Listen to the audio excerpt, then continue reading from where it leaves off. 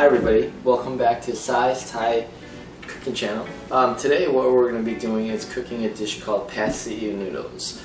Um, what this is one of my favorite dishes uh, when I go back to Thailand, when I order, when I go to a Thai restaurant and order out. It's those flat rice noodles that are really wide um, and then it's a really simple dish to make. I make it for my friends and families all the time and it's literally one of my favorites dishes to make. And it's really simple. There's three main ingredients that we use that you have to go purchase at the store. Um, so we're going to use some chicken tenders right here. Uh, so what you know, you could get this at any store. You could use chicken breast if you'd like to, but today I, I'm just looking at. I always like you to use chicken tenders because they're so a little bit more tender than the breast when when you cook it on the wok. The second ingredient is going to be our Chinese broccoli, if you can see right here. Um, these go really well with the dish, but if you can't find any Chinese broccoli at the store, you could always substitute that for regular broccoli. And the second and the third most important ingredient uh, is the fresh rice noodles. And these you can get at the store, any places like H Mart will have them. Um, and then here you could actually go to down to the city of Chicago and purchase them anywhere you want. Um, so I kind of lied. There's four four main ingredients, and the last one is actually the egg. Um, we always put egg in all our noodles. So pad thai, pad see noodles, lard na, fried rice. Um, that's what we use.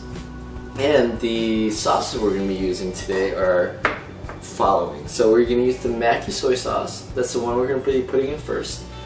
Um, I always like to put that sauce in first. And then two, we're going to be using the Panda soy sauce, which Panda oyster sauce, excuse me, not the soy sauce, Panda oyster sauce for the second item we're going to be put, sauce we're going to be putting in. And third, to give that that kind of like a darker color, we're going to be using the black soy sauce, which I really like. It has a sweet flavor. And to top it all off, we're going to be using a little sugar on top. Really simple ways to prep this dish is by cutting up the, uh, the, the well, what we'll do first is cut up the Chinese broccoli. Alright, so what we're going to start first by prepping first is our Chinese broccoli. So I like to get probably close to a pound of Chinese, half a pound of Chinese broccoli. It, it, it looks like there's going to be a lot of vegetables on here, but when you put it on the wok, it, it really becomes, it, it loses its volume a lot, and all of this seems like it's going to be nothing in the, in the pan. So what I like to do is really just go ahead and cut it into two inch lengths, right? Really simple. Um, prep time on this is literally five minutes, guys, so I wouldn't even call it any prep time. So look at this, two inches length, and then, then we've got it all done here. That's it. And that's done for the Chinese broccoli. Let's see here. We'll dump it into a bowl right here so it'll be ready to use. And if you see, I got all my sauces laid out there. So I've got the, you know, I, I didn't mention that we're going to be using canola oil, but in any stir fry dish, we're going to be using canola oil. So that is actually something that I won't ever talk about it again because we always use canola oil for cooking. Um, you know, you can use vegetable oil if you want, but I just, I've done the research and canola oil is a lot better for you. And it, when you cook, you use canola oil when you cook, it doesn't add all that, um, the grease all over your house. So that's a really benefit to me, um, especially when you're cooking at home. So what we're going to do now is take these rice noodles, right? And they come, now there's two ways they come, right? So they come in just regular packets that you have to cut up on your own so you can decide what length and what size you want them. Or two, the ones I picked out today are essentially, you know, they're already pre-cut and all you have to do when you get them home is really just take them out and untangle them, I guess, right? And then put them in your bowl. So what we're going to do is we're going to use about one pound of rice noodles and that's to, you know, you're to get about three or four servings, depends on how much you, how much chicken, how many eggs you use. Let's see here. And then this is it's really this simple, guys. So it's really a simple dish to make. Like I said, my wife loves this dish. I like to put a little extra Thai peppers in there at the very end, so it has a little kick to it. but for me, you know, I do feed, uh, I do make food for my my two year old son, and Thai peppers is not his thing right now, so I just leave it just the way it regularly tastes. So, and this is, you know, this takes about five minutes to make. Um, then I'm gonna put that off on the side. Okay, so that's how it's done. I actually have some pre-made ones for you already. And the last thing we're gonna prep is our chicken. So I got two little chicken tenders here. Um, I'm just gonna cut off the ends. So I'll, right here, the little fat pieces we're not gonna use because we're on a, you know, it doesn't taste as good and there's no point in eating something that it's, it's gonna be a little tough, right? So now these are these chicken tenders I got at Sam. So uh, anybody could get a membership there and get it. So we're just gonna slice up really thinly, like so. All right, let's see. Yeah, so this is a really easy dish to make, like I said. Um, and if, if you don't like to use chicken or you, you don't want to use chicken, that's fine. We could use you know, beef instead, or shrimp, or any kind of meat that you really want. So even fish balls, like we did with the mama noodles. So let me go ahead and wash my hands up here. And then this is simply, simply it, guys. Once you have your noodles made, once you have your noodles made, your chicken cut, your Chinese broccoli done, the egg, there's nothing to do with the egg. You don't have to make that at all. And um, now we're really set, we're really ready to go back to the grill. Uh, not to the grill, but to the stove and start making our pad see noodles. So come on over. So what we're gonna do now is start cooking our ew noodles.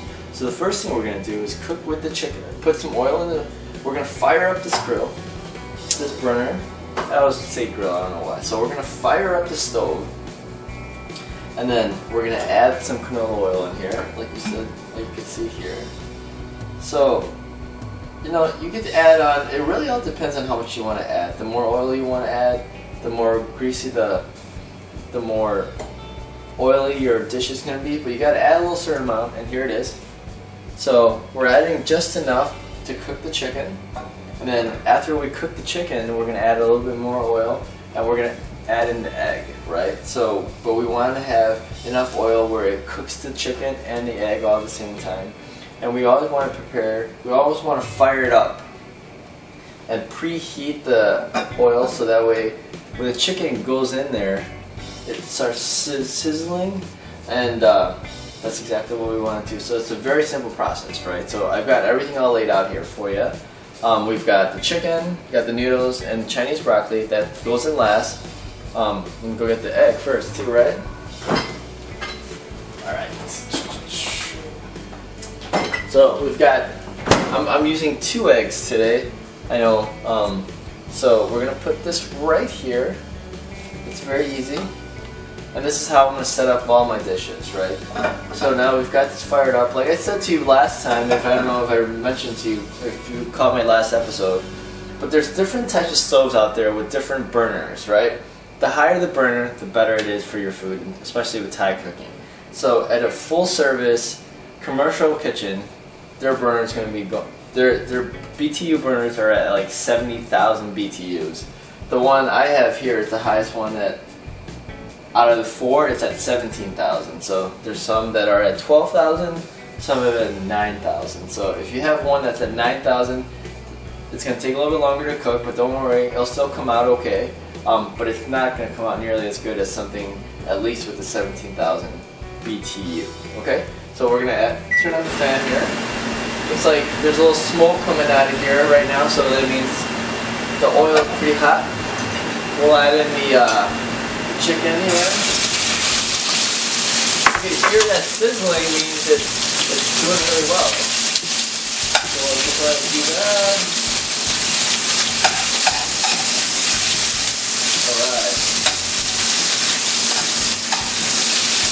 So once you get the chicken to really kind of cook, and I'll show you what it looks like right here. So it's starting to cook really well, right? So we want the chicken to kind of get brown all the way around. Right.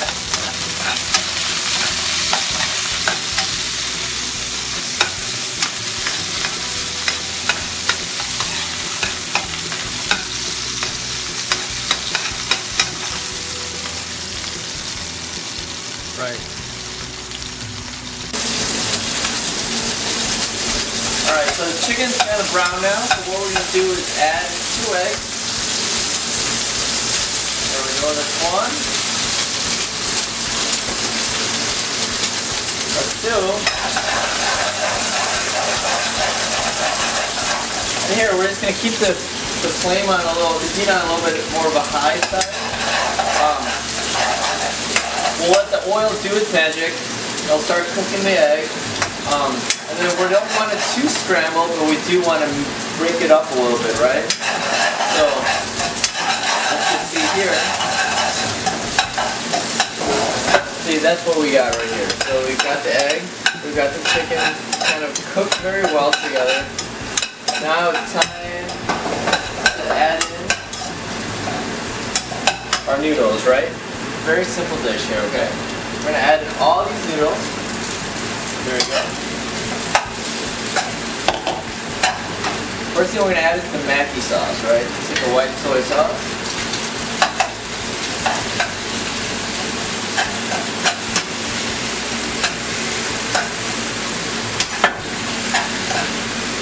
And probably like five to six squirts out of this can, out of this bottle.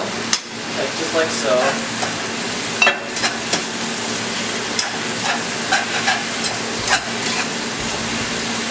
There we go. We're going to do the oyster sauce now. And the whole thing about cooking, everybody, is you're to have to always taste, right? Everything's done, everybody does it by feel.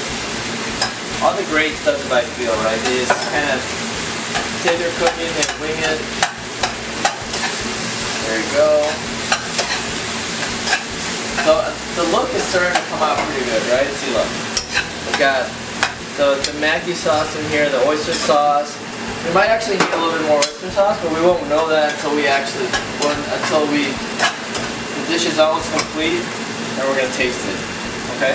So this is like half a pound of Chinese broccoli. It looks a lot in here. Wait until I add it, everybody. So, looks like a pretty full dish so far, doesn't it? Okay. So what we're gonna do, and I'm telling you, when we add this all in, Seems like a lot of Chinese broccoli, but it really isn't. So,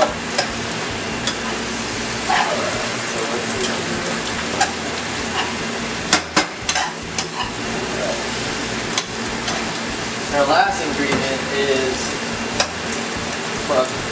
which is black soy sauce, everybody.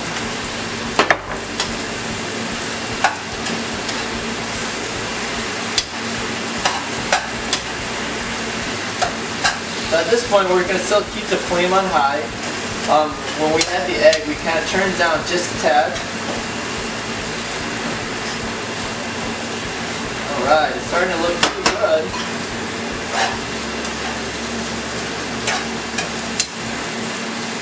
Okay, look at this. So that's done with. And look how beautiful that's looking, turning out, right? See, I'm telling you all that Chinese broccoli, it really kind of fits the dish a little bit, right? It's got a good mixture of greens, noodles, chicken, and egg. We're to add in some sugar.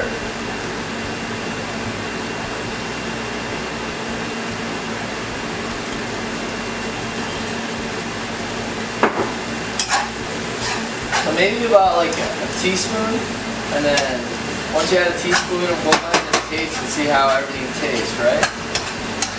So, what we could also do is add some black pepper. Let's see here.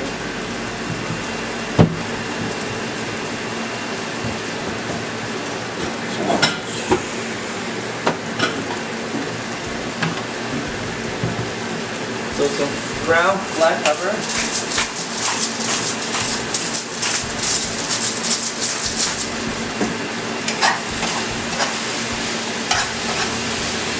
Right.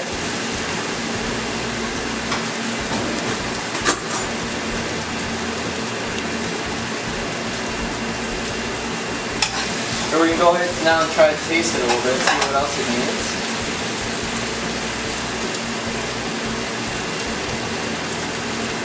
Mmm, delicious. So once we're done, we're gonna go ahead, mix up the bowl, set it down.